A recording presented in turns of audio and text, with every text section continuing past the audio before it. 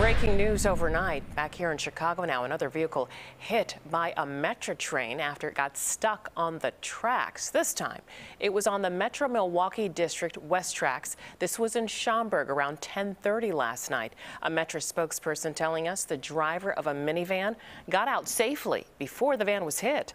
The driver was still taken to the hospital, though. The train passengers were transferred to another train.